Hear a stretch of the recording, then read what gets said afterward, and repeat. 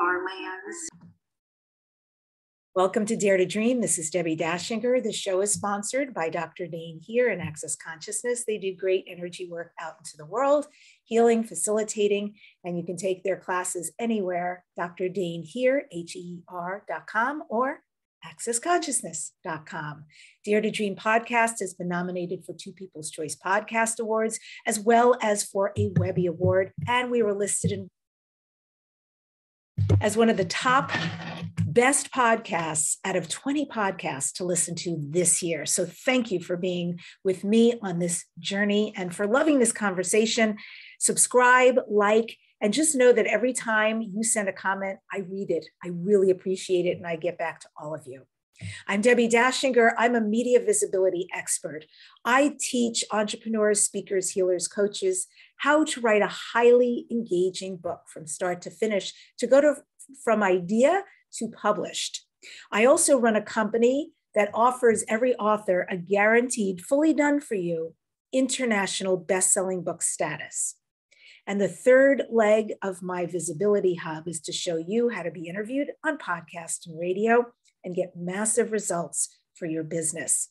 I've got a gift for you. It's lots of tips about how to write a book and be interviewed.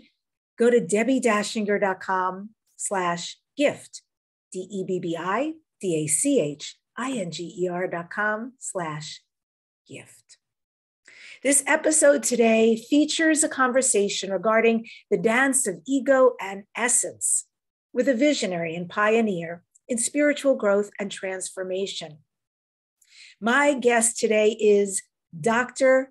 Pamela Gerali, who shares experiences and insights and captivates readers and audiences with wisdom and practical guidance from the blueprint for the human spirit, her holistic model for conscious, compassionate living. Mm. Pamela is a registered nurse with a master's degree in public health and a doctorate in holistic health sciences. Dr. Gerali is the empowering author of The Dance of Ego and Essence, an intuitive healer and inspirational speaker. And to learn more, go to Dr. Pamela, G E R A L I dot com. And with that, I very joyfully welcome Pamela to Dare to Dream. It is so great to have you. Unmute, my love. Yes, and she looks gorgeous. So if you're you're on podcast, you want to also go to youtube.com slash Debbi Dachinger and see Pamela in her amazing coral outfit.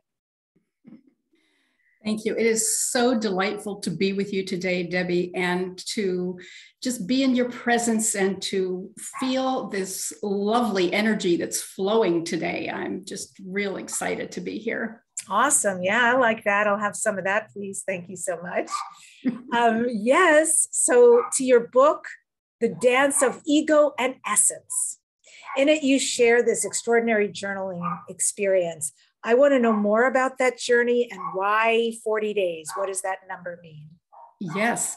Well, I, like most interesting things that happen to us, there's usually a pivotal moment. And I had viral thyroiditis, which flatlined me for about six months. And I'm very active, very almost hyper. And so it was not easy to lay there and just allow my body to heal, but it did. And when that was over, I asked for guidance on where to start working again because I had this beautiful gift from the universe called the Blueprint for the Human Spirit. And uh, I'll share a little bit about that in the future. But I wanted to do something very special and very unique to share this gift so I thought I would be told to just pick up where I left off on a couple of incomplete projects. We all have them in our computers. We've abandoned them for other things, but I thought I would be encouraged to do that. But no, the higher powers that be encouraged me to get up early and to journal confessions for 40 days. Well, confessions and me don't get along real well because I grew up in a very fundamental Christian religion and a very conservative home. There was uh, what I call the unholy trinity of guilt, shame, and fear. That's hilarious. I love that. that unholy I was raised with. but I went to my office, lit a candle, sat in the silence, opened my heart and my mind and my entire being. And in a few minutes, a word came to me discipline.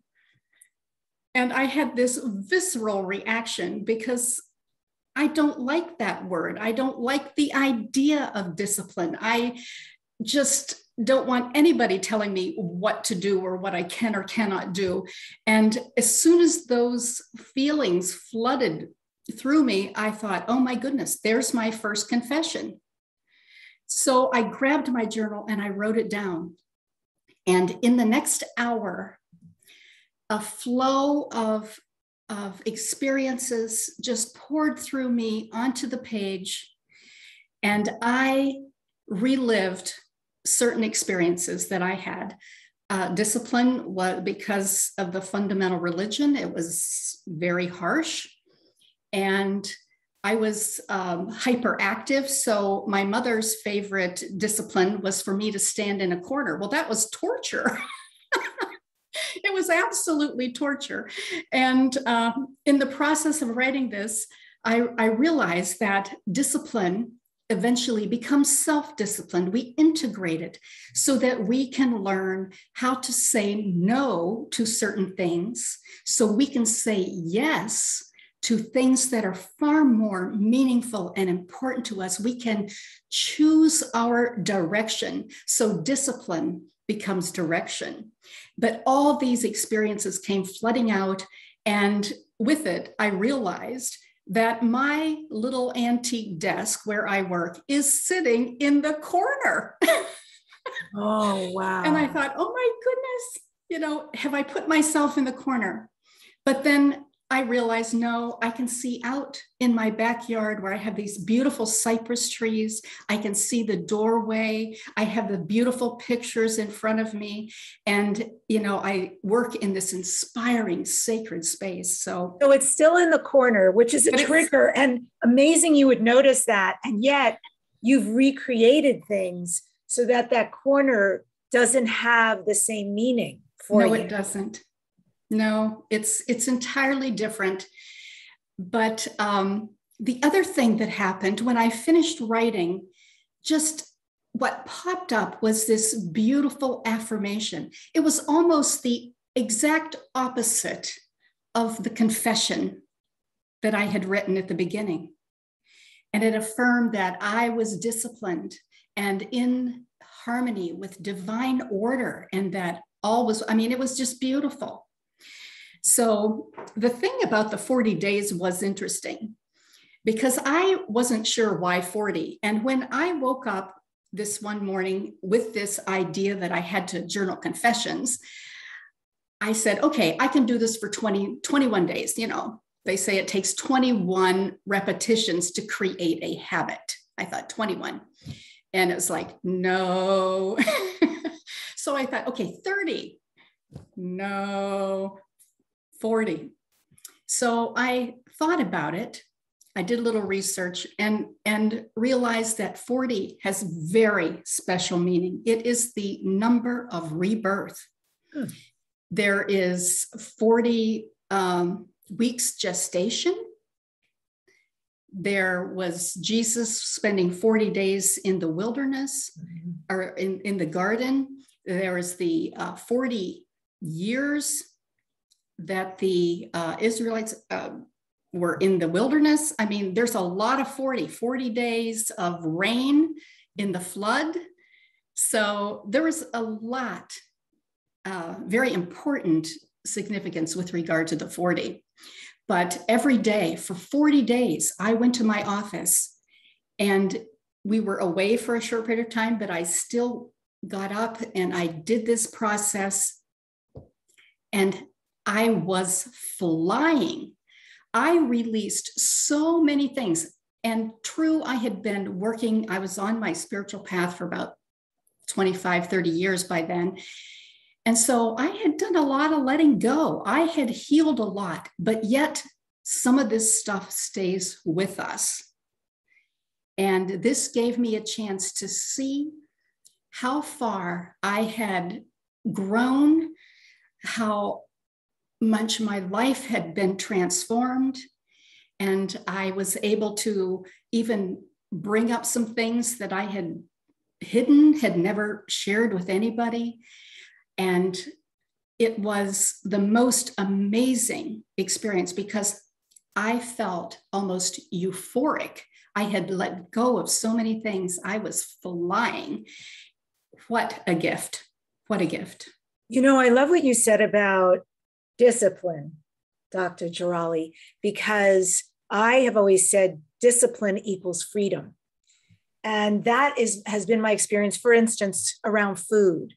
You know, for a long time, I needed discipline around food. Um, and what I found is that when I really cleaned things up, that there was this enormous freedom. Obviously, there was health that came with it, but also there was great ease and great results.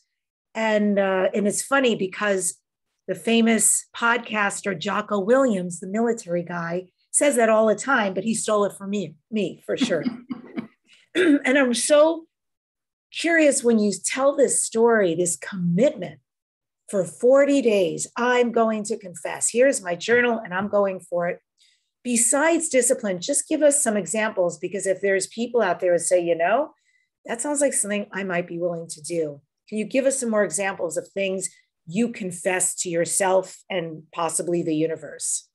Yes, there were so many. And I believe that they are universal issues. There are things that we all face and deal with so that I know that when I uh, share my experiences, other people will as well. For instance, um, aimlessness hmm. became mm. purpose. And um, prayer and pleading became presence.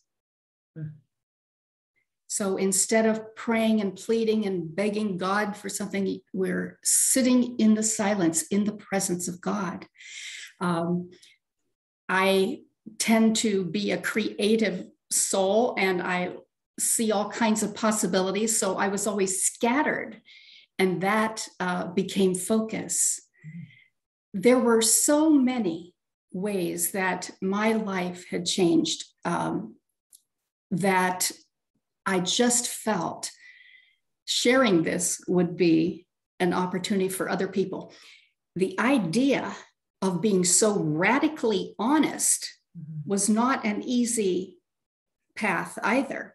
But I started this process, and a couple days later, I would send what I had written to my friends. And they were so blown away by it and said so much of their own stuff came up that they said, You mm. have to share this. You have to do that. And I had no intention. This was my own experience. I had no intention of um, airing all of my dirty spiritual laundry with the world, so to speak. but I know that it was meant for a higher purpose. Mm. And true, we are here to raise our own awareness. We are here to learn and grow. And so that inner purpose is paramount, but also there are opportunities for us to share that with others because our experiences open the door for other people to learn and grow as well. So my passion for the blueprint and for this experience that helped reveal exactly how the blueprint had impacted me and how I had learned and grown. It became something that I uh, just had to share with others.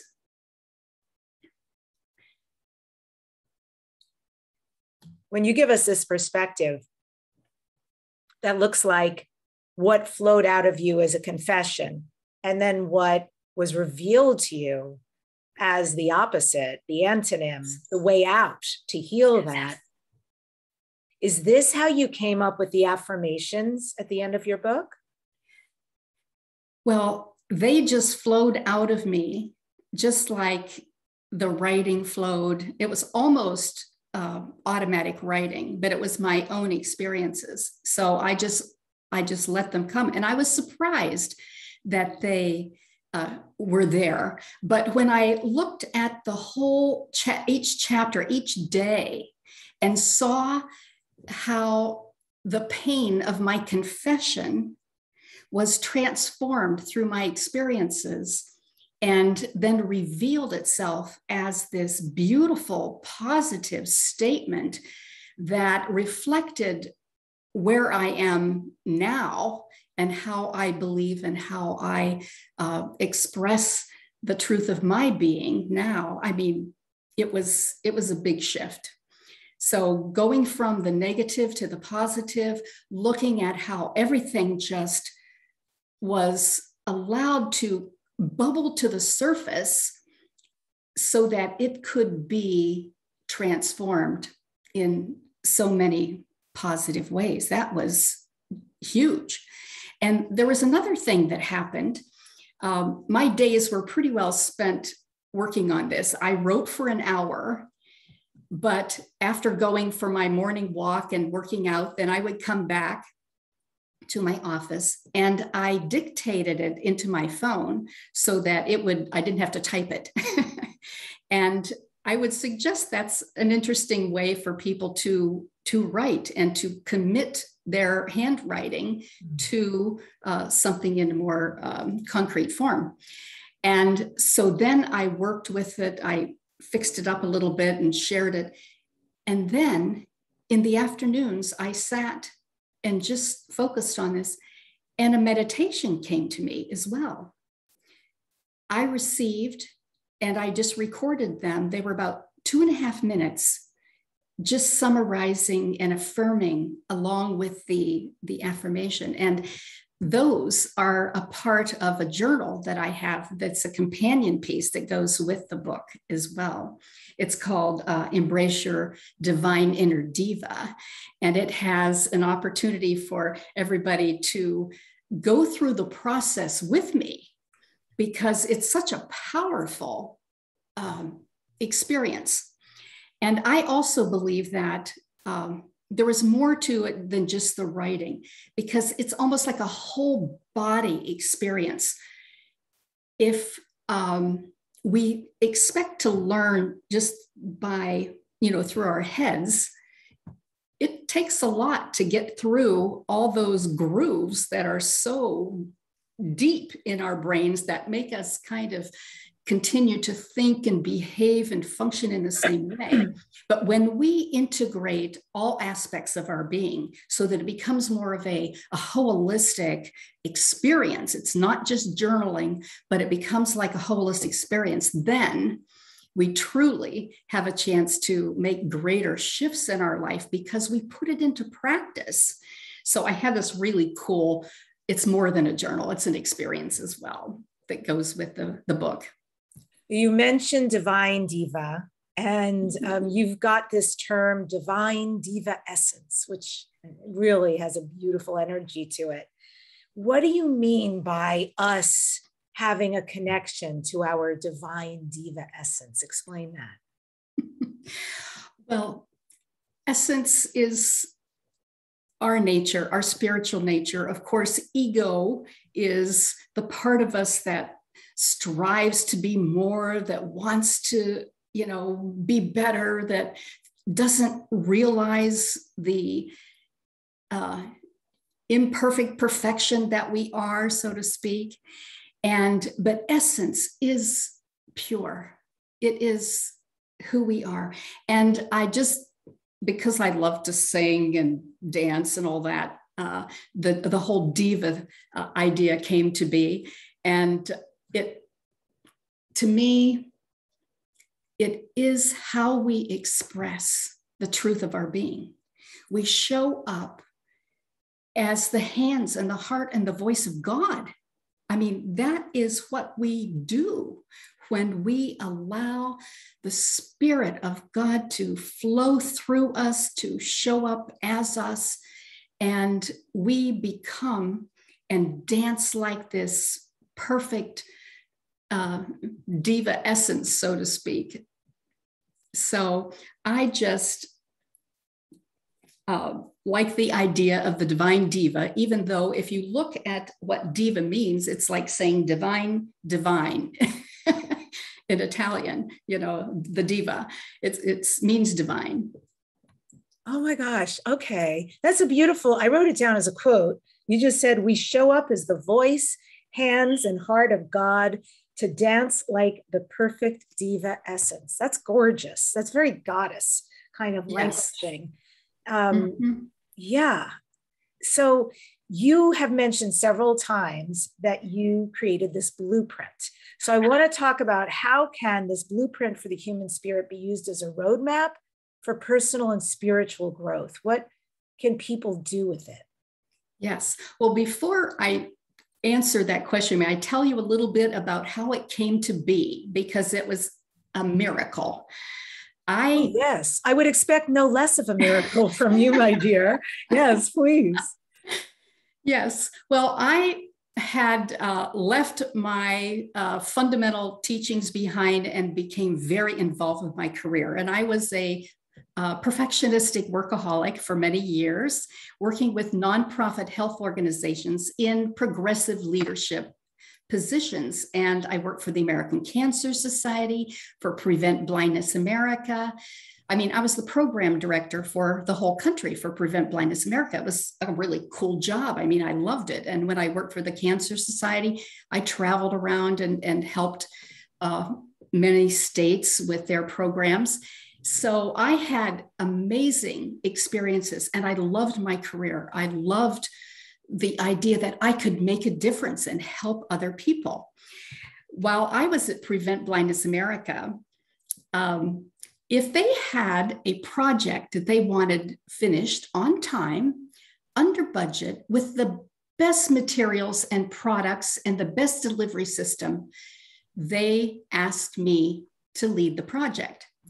But if they wanted everybody to be happy with it, they didn't necessarily ask me because I was a bulldozer. I mm. pushed and pushed myself and pushed others to achieve more and more and more. It was like never quite good enough.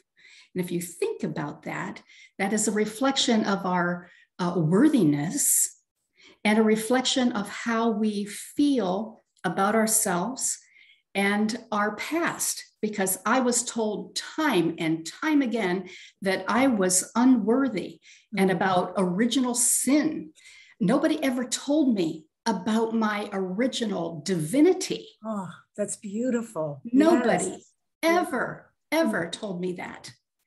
But here I am working my little tail off, and I was given the opportunity to go to the Center for Creative Leadership in Greensboro, North Carolina and it is an amazing place. I did an extended program. We spent a week there and then went back a couple of times.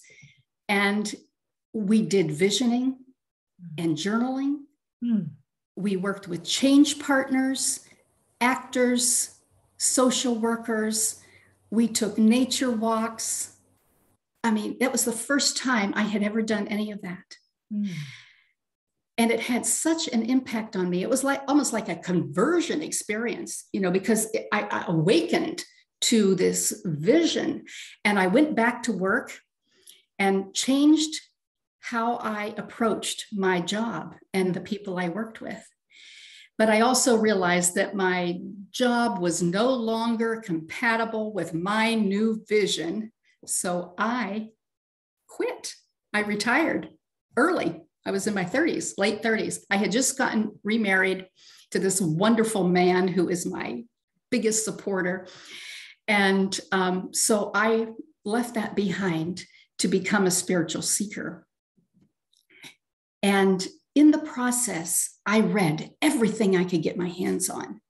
And I tried every practice and I went to every holistic expo I could get to and studied all the masters, past and present. I was a consummate seeker. I just couldn't get enough. I and I was also fearful about this because I was so afraid that I would be led down the wrong path by some spiritual shyster and not have enough discernment to know what was true or not for me. So I had all this fear from my background. I mean, everything that wasn't a literal t- translation from the Bible was deemed to be uh, wrong. And, you know, off you go into the dark forever, you know. So I was very much afraid. But I thought, you know, I just was compelled to seek. And I think we all go through that seeking phase uh, in some way, at some level, because we want to know truth. We want to discover who we are. We want to know why we are here. And um, I had no idea. But eventually, um, I was, um, I had a cue. I went to see a medical intuitive and asked her because I was having some stomach issues and found out it was gluten and whatever that the doctor said no there's nothing wrong with you but in the process she told me she saw me working with shapes and they were kind of amorphous and that i would be uh, sharing this with others and when she asked me if i had a question i says well i'd like to know why i chose not to have children in this lifetime and she looked at me and she goes well um, in a past life in the early 1900s, you lived in Appalachia in poverty. You went through three husbands, had 22 children, many of whom died. and you said you could never, ever go through that again. And then she said, And how could you be the mother of the earth and bring forth this beautiful gift if you had so many responsibilities in your life. Mm. And I had no idea what she meant. Mm-hmm. But two days later, I was awakened at 3:30 in the morning, and all this information started flowing in. And it started as a simple mind, body, spirit triangle, which I had heard about before, but it kept growing and growing. And three to four days a week for six months, I was awakened. And all this beautiful information floated. These divine downloads were so powerful. And I was given the opportunity to learn and test it and integrate it as it went. So this blueprint evolved and kept growing and growing in harmony with my understanding and my personal growth so that it became like my passion and now my purpose. Every day I would walk with my husband and I would tell him about the latest download and he'd just oh that sounds good you know. He had no idea what i was talking about. But i had not only like this little chart that was forming and growing but i had sacred geometry that went from the triangle to a tetrahedron then with a center point and it grew and these spheres and are you saying that you were getting a download of of a sacred geometry vision that kept growing and mutating and changing or that you had several of these sacred geometry visions it just kept growing and growing and it reflected exactly what the matrix that was growing was so, and I didn't know what sacred geometry was until much later, but it's uh, compatible with like the Merkaba and everything else. It was like I was downloading all this stuff and putting the pieces together. And I think that is what was so powerful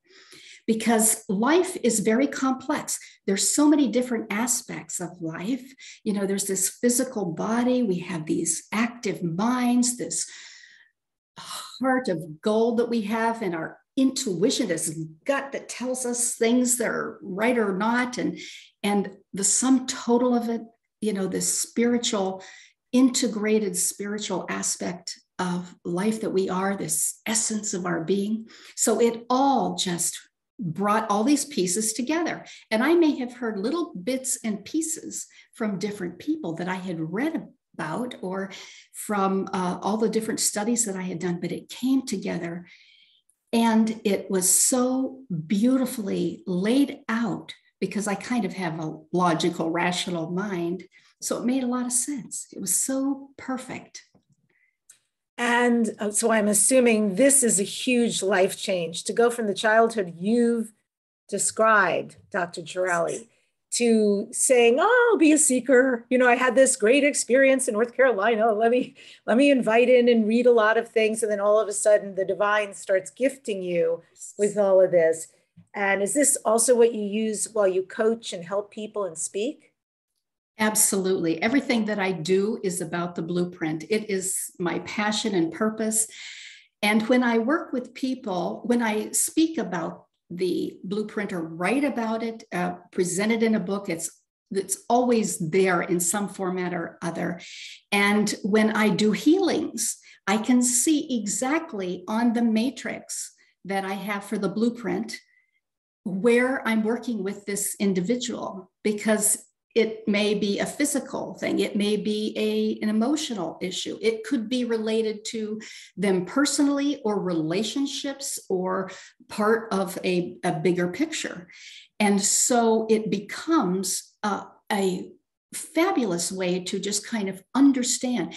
And when we look at the the blueprint matrix, which I talk about. And if anybody wants to see what the matrix looks like, you can go to my website and under offerings, there's a, a page for the blueprint and it shows you the chart. And each, uh, it now has 25 boxes in it, and I'm sure it'll probably grow some more, but uh, there are 25 boxes. There's five dimensions that I focus on the physical, mental, emotional, intuitive, and spiritual and five um, fields of existence, which are quantum or energy, self, social, global, and eternal. And the, the self level is all about discovering who we are. When we figure that out and put it together and integrate all these aspects into one coherent whole, we can be authentic and express the essence of our being. So that is the intention in the self level. In the social realm, it is all about why I'm here. I mean, these are universal questions that everybody asks. Why am I here? And it is how we serve and how we live purposefully, how we relate with others. And we may be caregivers in the physical, we may be teachers in the mental, we may be partners and have intimate relationships, we may be leaders and use our influence and our power to empower others. Uh, but all of it comes together into this beautiful uh, way of understanding who we are, why we are here. And then in the global realm, it is more about um, how I'm connected with the whole and how I leave a legacy that'll last forever. Yeah, absolutely. It's beautiful. Yeah. You do so much work, if you don't mind. I want to give some things to the listeners and the viewers because there's a lot of interesting things going on in the world and you have a lot of wisdom around this. So let's talk first about going from anxious to adventurous. Um, in your work right now, you talk about that in regards to the feminine spiritual development. Is that just for females or is it the feminine within us all? And how do you suggest the feminine goes from anxious to adventurous? Yes. Well, um, there are about five qualities of a divine diva that I focus on, and one is adventurous as opposed to being fearful. And, and certainly that is something that um, we can try but you know some of us are a little more adventurous than others. And my father was very adventurous. He, he had more near death experiences than you could imagine and he lived on the edge you know? And um, so maybe i got a little bit of that from him. But to me uh, we go from being fearful to adventurous in in a uh, as we let go of the past and the fear that we have that's really related often to our past or to the collective unconscious, to everything that has come with us into this lifetime from previous lifetimes, even or from um, others. You know, we we have a lot of uh, baggage that's ours and uh, universal.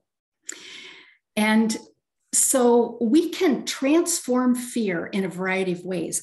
Um, we are so, um, uh, life has been very stressful lately, and we typically react to stress because of fear in some very unique ways. I mean, we all either freeze, you know, so that we can't move.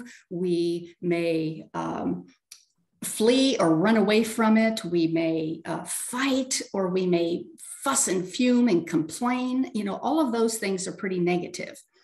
But we can transform our reaction and how we view our life experiences in the past and the fear that we may have for the future because of what goes on in our lives or in the world, pretty chaotic.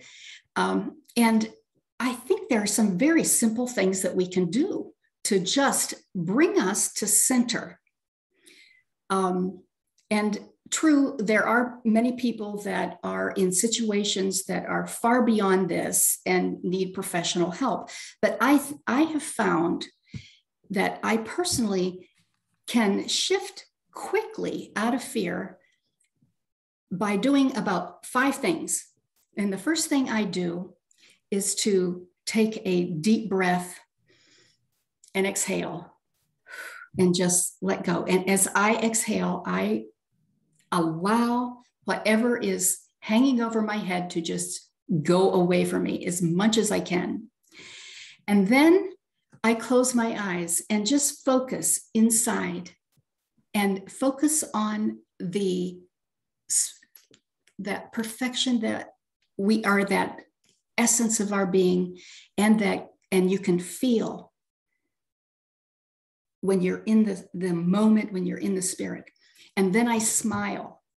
And you cannot be fearful and paralyzed if you smile because it changes. All of these things change our body chemistry. You know we go from having stress hormones of uh, adrenaline and cortisol to having more endorphins and oxytocin and serotonin all those wonder i mean we have an inner pharmacy that we can activate very quickly by doing things like smiling and by um, opening ourselves. Uh, and uh, everybody knows about probably about the uh, Wonder Woman pose that if you put your hands on your hips and open up your, your chest and your heart, you stand and for two minutes, you know, you are empowered, you know, so we can shift our body chemistry out of that fear mode that contracts us and makes us feel less than we are, because that's all part of ego. And, and when we open up and smile, and, and even putting our hands in the prayer pose is a powerful symbol because we put all, every meridian, energy meridian that we have in our body is all brought together into one when we use the prayer pose. Now, that's a powerful thing to do. And I could never, you know, because I grew up like I did, you know, I was never big on things like that. But just little things can make a difference. But we need to continue to allow our intention to uh, bring forth the highest good for us and so that we can share the love that we are. But I do believe that we can go from being afraid to being more adventurous, to go from being like aging, you know, I'm a great grandmother, and uh, to being uh, ageless, because essence is ageless, essence is unlimited, mm. essence is fully accepted, beautiful, part of the whole where uh, aging kind of brings us down, where fear brings us down, everything that uh, makes us contract mm-hmm. uh, limits us. Mm. We don't have to do that. Yeah, yeah. And for people who would like to reconnect with your true spirit, um, yeah, it, that's kind of a powerful one for me right now because I had a healer recently who did an exercise with me and literally in minutes reduced me back to authentic self. Yes. Um, and I've been using it on my own because it was so powerful. It was never his intention when he did it, but it's like, okay, this is a great tool. Tell me about yours. What do you use or do? Yes. Well, as the blueprint was evolving, so was um, the my intuitive healing work. And as someone who was trained in science mm-hmm. and was very left brain rational logical, intuition was way beyond what I ever considered as something that I had or could use. But it kept evolving. And in the middle of the night, I would think of somebody, you know, this is where a lot of things happen about 3:30 in the morning. Um, uh, I would think of somebody, a family member, a friend who had an issue, and I would, it was almost like a form of prayer.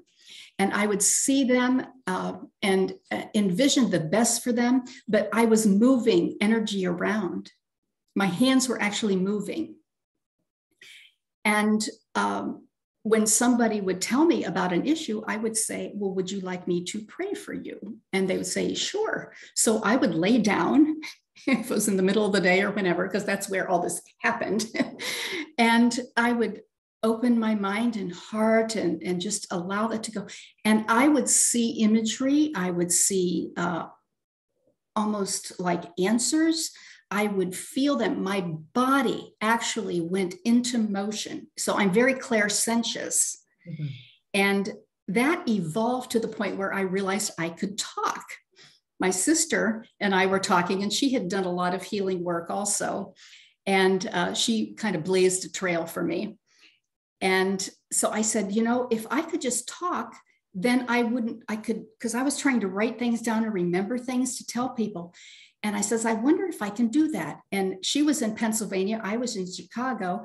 And, and uh, she says, well, do me. So I got this little tape recorder. I laid it on my chest. I'm laying there in bed and I spoke in first person. How do you mean? Can you give an example of that? I was her. I became like a mirror and and was speaking on her behalf. Mm. I was speaking as her higher self mm. to hmm. her.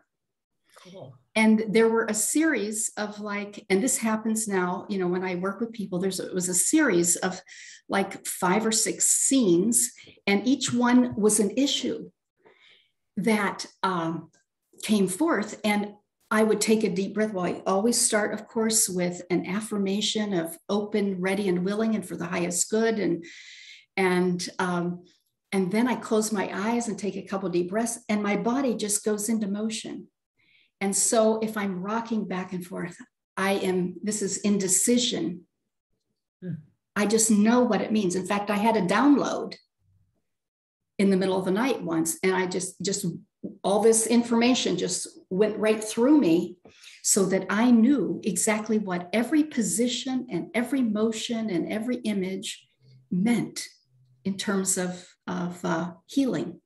And I discovered that in the process of working with somebody, when an issue comes up, you know, there's this movement, and I always have my clients uh, mirror what I do because I think there's all this muscle memory and they participate in the process and experience it and can feel that also.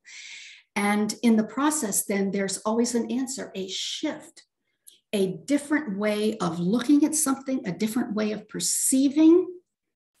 And as soon as you step out of your shoes, so to speak, and become the observer and look at the situation from a different perspective with new eyes, everything changes. And then there was uh, revelations about things they could do or shifts or a new way of uh, expressing or being or showing up. It was just, it's just the most powerful thing. And of course, it's quite dramatic because I go into motion and act out exactly what uh, I'm sensing. Was your sister very pleased with her healing? What was her response to that? well, it was very powerful. And I mean, it started with something very, you know, there were there were some issues, some very serious kinds of things that happened. Um, and I can't remember them all because I'm kind of out of it when this happens. I'm in an altered state, so to speak. But it revealed to her some answers of why she experienced certain things and how that impacted her. So it is powerful. And the and the imagery is also really special because I may not know what um, other people uh, anything about them. In fact, when someone comes to me, I don't want to know because I want a clean slate. I don't want to have my mind jump to conclusions or whatever. And I worked with someone who, uh, and I'm sitting there like playing an air piano, and I'm like, um, Are you into music? Oh, yes, I'm a concert pianist. And I'm like, Wow.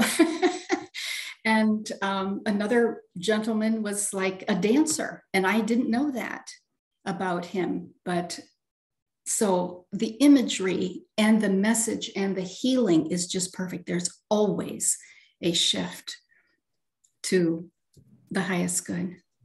There are people out there who are ready, like, I'm finally ready to build this positive relationship with myself. I'm ready, ready to let go of all this uh, mess from the past. I want to have a positive, loving, affirming, valuing, worthy relationship with myself.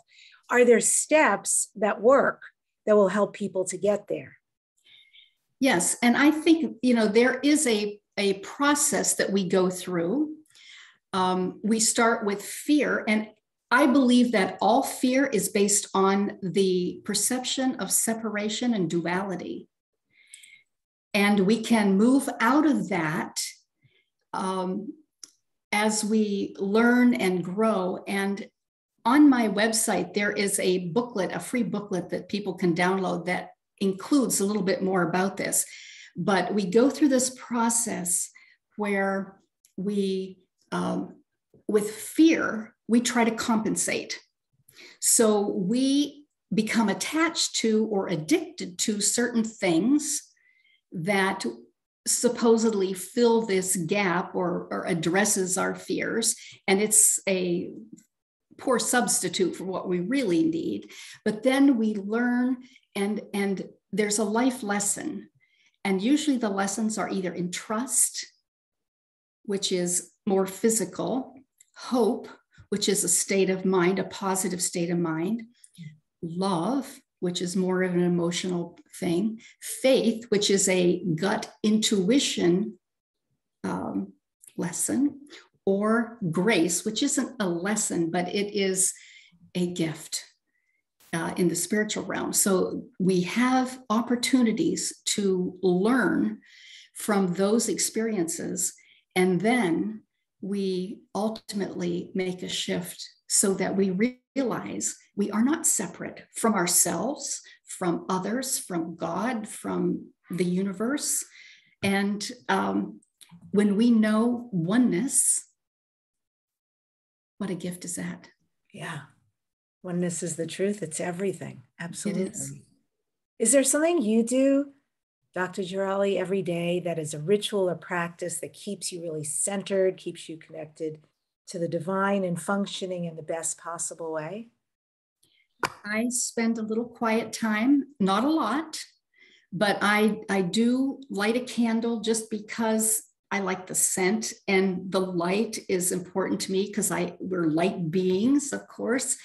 And I sit in the silence and bring myself to center. I just sit, which isn't easy for me, being hyper. and um, I write in my journal a little bit. but I believe that, you know, we practice and practice and practice. And at some point, we go from being seekers to being seers, or, you know, we go, we make a shift. And we also uh, can learn, and as we practice, to learn to be present instead of having to go to a place where we are present and then go about our lives. We adopt a lifestyle, a way of being where we are present, where we are in the moment, where we are more conscious and aware of what is happening with us. It's like instead of going to church on Sunday, every day, every moment is Sabbath. Ah. Mm-hmm. That's nice. I, I just am purposely having a little silence there for people to absorb that. Every day being a Sabbath. Every day, every moment. Yeah. And it doesn't have to be a candle. Candle is your thing, but it can be something different every day. I've never I've never interviewed myself, but but if I did, I would tell people something I do every day is emotional freedom technique. I do EFT tapping. Mm-hmm while I walk at some part of my walk, and there's an enormous healing and energy shifting that takes place always, always, always. And um, yeah, it's divine grace for me. I yes. am grateful for who created it, and I'm grateful that it's available to all of us. So, yes, yeah, absolutely. everybody can have their own ritual. And Dr. Gerali, this is Dare to Dream. So, what do you next dare to dream? What are your future dreams and goals? My dream is that the blueprint for the human spirit will fulfill its higher purpose to uplift humanity, um, to uh, encourage people to live more authentically, compassionately, and consciously, and in harmony with everyone. And I believe that uh, as I do my part, that is happening. And what would and you so like? Blessed. yeah, you are. You are. You've been really divinely guided through your openings and shifts, and it's lovely to have you amongst us in our tribe. What do you want to say here at the end to the listeners? Well, I believe that we are all divine divas, and men and women, or devos, whatever, um, that we can learn how to balance our lives and how to use ego to express essence. We don't have to suppress ego so much as we have to integrate it with essence so that we can fully express the truth of our being. It is our personality and how we uh, are able to express who we are. Um, there was one other quick thing that happened to me that made a huge shift, and this is probably a topic for another day. But the blueprint for the human spirit was an awesome intellectual exercise for many years. And then I had a meditation. And in the process, I experienced 15 past lives in an hour and a half and there was one for each box in the matrix, the main primary boxes in the matrix. And each one of them showed a shift in consciousness that was critical for my growth. And I believe it's a reflective of, of what we all, uh, how we all make a shift. And in that process, the blueprint shifted from head to heart. And I think that is another critical shift that we all have to go through. We have to, it has to become a heart and soul and a full being experience instead of just something that we learn because we won't remember it. It won't change our how we are, it won't change what we do unless it's a whole body, a whole being type of holistic experience. So to learn that, more about our guest today, go to drpamelagerali.com. It's G E R A L I.com. Pamela, thank you so much for coming on the show today. It's been a pleasure. It has been my pleasure. Thank you so much for the opportunity. And I end the show today with this You are a beloved of the universe. You are as beautiful as the sunrise and as ancient as the stars. You are a spark of divine love in human form. Through your goodness and light, flow out into this world. Bless you. Remember to subscribe to this number one transformation conversation called Dare to Dream podcast. And my guest next week is Morgan Daimler. So excited for you to hear this very prolific author, this speaker who is well known because she is an expert in the realm of fairies and elementals, and she is exquisite. Thank you for joining us today. Remember, don't just dare to dream, dare to turn all your dreams into your reality.